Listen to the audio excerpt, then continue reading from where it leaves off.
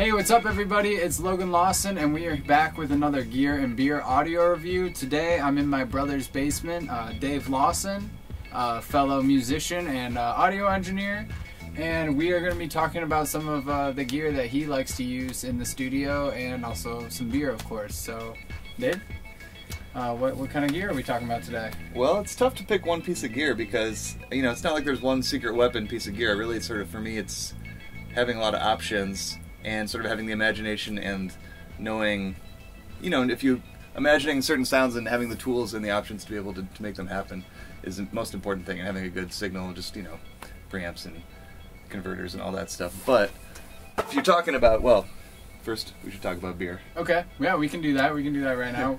Um, what what beer are you drinking, Dave? Drinking the Dirty Bastard out of Grand Rapids Founders. All right. A little bit of a Scotch style ale. And I'm actually drinking um, Shorts Brew from Elk Rapids, and I'm drinking Soft Parade. Um, it's a high gravity ale fermented with blackberries, strawberries, raspberries, and blueberries. So um, it's kind of fruity, but um, it's definitely a really good beer, and I'm pretty sure it's like five percent or even a little bit more than that. Yeah, mine's a little more than that. Yeah, It's feeling good. right on.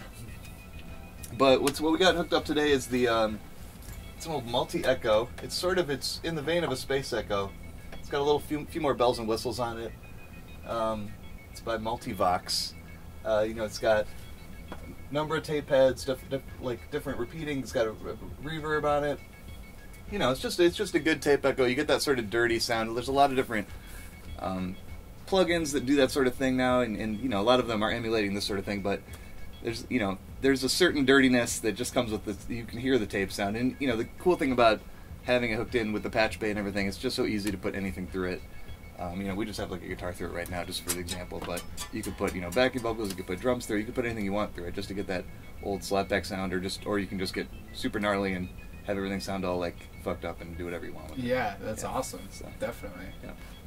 All right, well, we're gonna go um, and do a little close-up time with the multi-echo and give you guys a uh, little, uh, you know, example, and uh, let's get into that.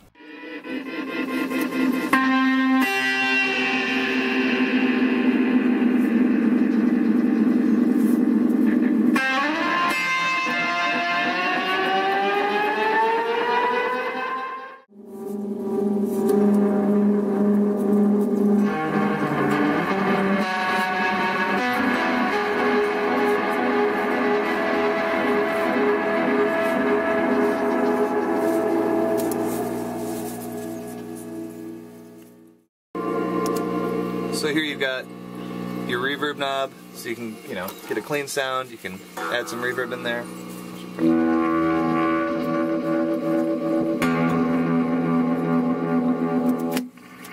Take all the echo off. So you can, it can be, it can just be pure reverb.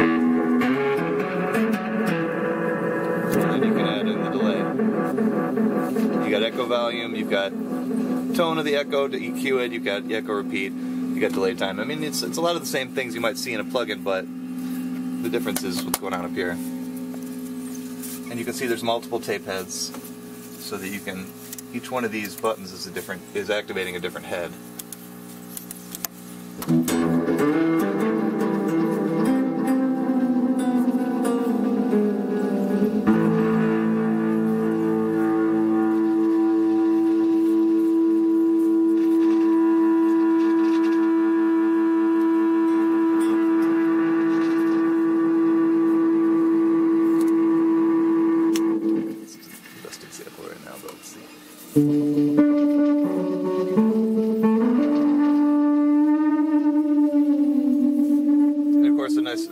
Fun little trick that I was playing with earlier is just when you change the delay time manually on any sort of delay unit, you're going to change the pitch.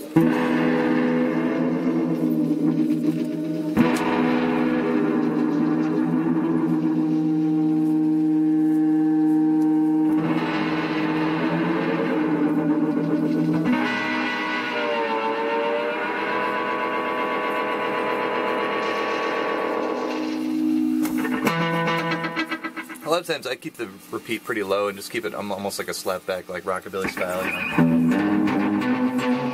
Which is nice on vocals. You can get a lot of that sort of dirty tone, but just get the slapback, sort of like an early Elvis thing.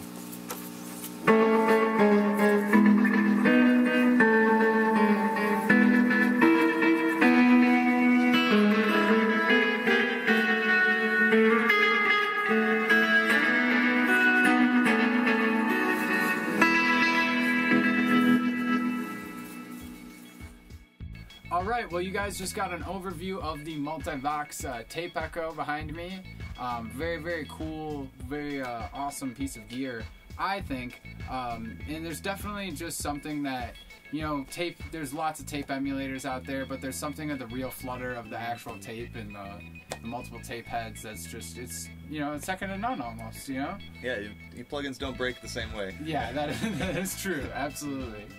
Um, well, that's about it for us uh, for Gear and Beer audio reviews. Uh, thank you to Dave, my brother, for uh, showing us the Multivox, and that's about it. So uh, we're about to drink these beers and um, take it easy.